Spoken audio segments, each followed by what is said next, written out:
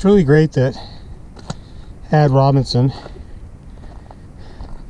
managed to convince the park to accept paragliding as an official activity here.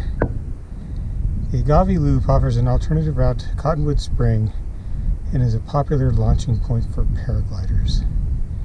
Ain't that great?